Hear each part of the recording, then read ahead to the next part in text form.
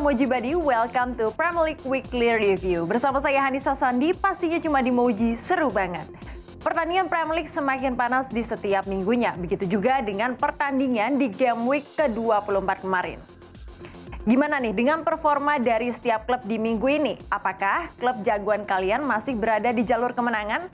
Semuanya bakal kita bahas di Premier League Weekly Review. Arsenal kembali ke jalur kemenangan setelah tiga kali gagal mencapai poin penuh saat berhasil mengalahkan Aston Villa di Villa Park. Sempat tertinggal dua kali, Arsenal nyatanya berhasil berbalik unggul dan menang dengan skor 2-4. Manchester City gagal mempertahankan posisinya di puncak klasmen setelah hanya bermain imbang melawan Nottingham Forest di City Ground Stadium. Sempat unggul satu gol, Forest berhasil menyamakan kedudukan di akhir laga. Skor pun berakhir sama kuat 1-1.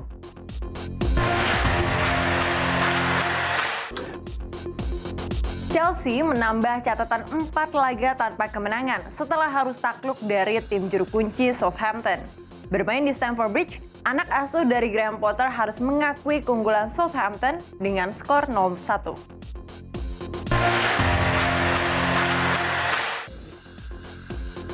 Dan Mujibadi jangan ke mana-mana karena masih banyak lagi pertandingan seru yang akan kita bahas. Setelah ini tetap di Premier League Weekly Review.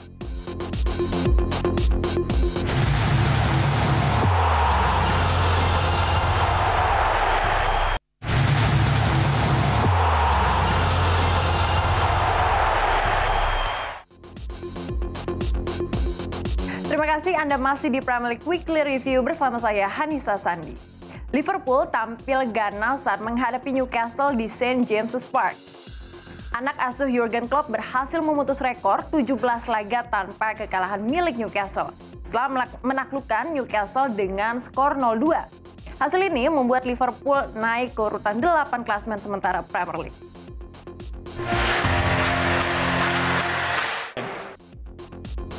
Manchester United tampil ganas setelah berhasil menang telak atas tamunya Leicester City. Anak asuh Erik Ten Hag berhasil mencetak tiga gol tanpa balas, lewat dua gol yang dicetak oleh Rashford dan satu gol dari Sanko. Hasil ini membuat MU menempel City di klasmen dengan selisih tiga poin.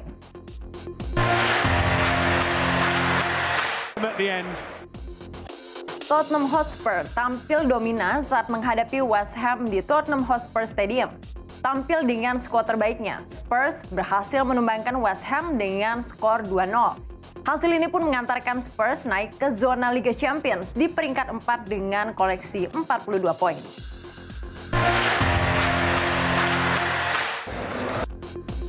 Dan Mujibadi jangan beranjak dulu karena masih banyak lagi pertandingan yang akan kita bahas setelah ini. Tetap di Premier League Weekly Review.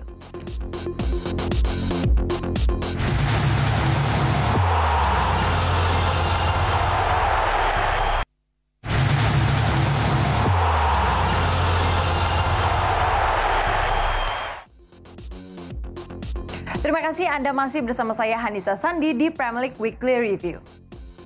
Laga sengit terjadi di IMAX Stadium dalam laga antara Brighton melawan Fulham. Bermain di kandang lawan, Fulham berhasil mencuri poin penuh setelah gol menit akhir dari Manor Solomon, memastikan Fulham menang 0-1 atas Brighton.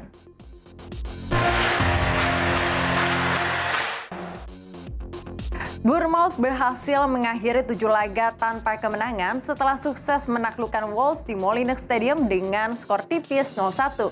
Hasil ini membuat Bournemouth menjauh dari zona degradasi di peringkat ke-17 klasmen sementara Premier League.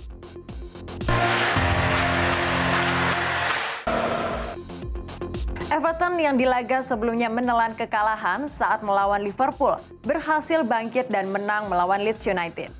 Bermain di Goodison Park, anak asuh Sendais berhasil menang tipis dengan skor 1-0.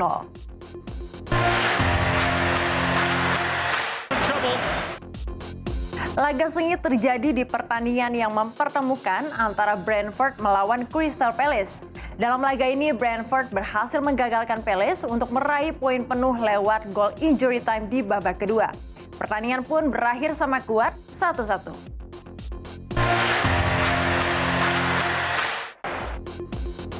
Dan Mojibadi jangan beranjak dulu karena setelah ini kita akan melihat update klasmen, Team of the Week pekan ke-24 dan top skor sementara Premier League di musim ini. So tetap di Premier League Weekly Review.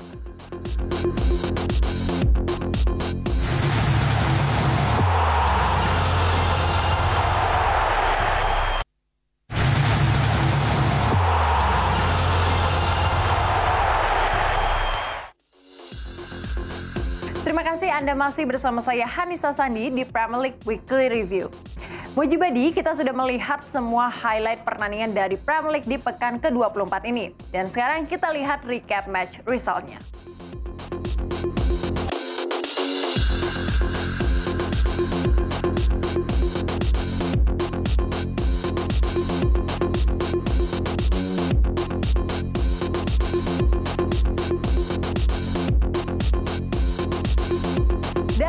Klasmen sementara sampai pekan ke-24 ini, Arsenal masih berada di peringkat pertama disusul dengan Manchester City dengan selisih 2 poin.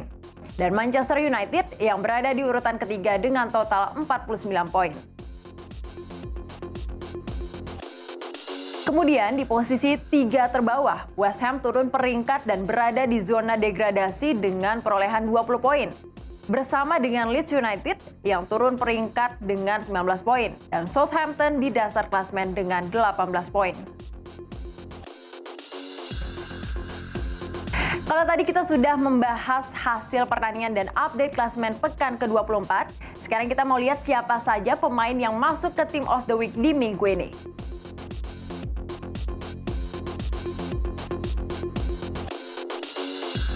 Di posisi penjaga gawang ada Leno dari Fulham. Di posisi pemain bertahan ada empat nama, yaitu Bella Kocap dari Southampton, Tarkowski dari Everton, Coleman dari Everton, dan Emerson Royal dari Spurs. Lalu posisi midfielder ada Ward-Prowse dari Southampton, Fernandes dari Manchester United, dan Odegaard dari Arsenal. Tiga penyerang Team of the Week minggu ini diisi oleh Rashford dari Manchester United, Watkins dari Aston Villa, dan Tavernier dari Bournemouth.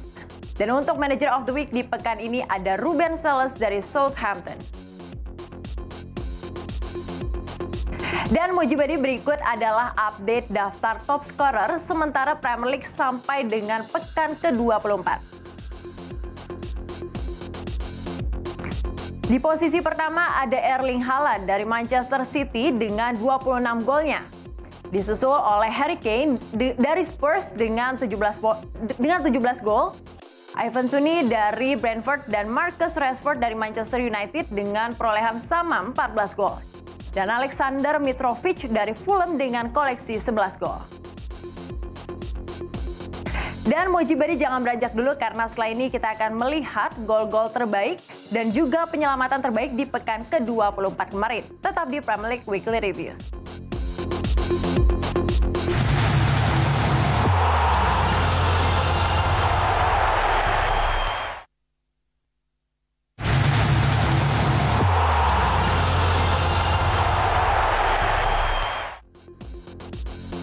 Mujibadi, Anda masih bersama saya Hanisa Sandi di Premier League Weekly Review.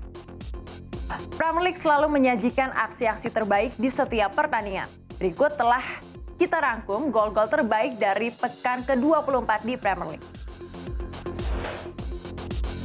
Premier League tidak hanya menyajikan gol-gol terbaik di setiap pertandingan. Berikut telah kita rangkum penyelamatan-penyelamatan terbaik dari penjaga gawang di pekan ke-24 Premier League. Satu jam sudah saya menemani Mojibadi di Premier League Weekly Review pekan ke-24 ini. Dan saksikan berbagai keseruan tayangan olahraga dan juga hiburan setiap harinya hanya di Moji. Dan temukan jadwal tayangnya di Instagram kami di @moji.social. So, sampai ketemu di Premier League Weekly Review selanjutnya.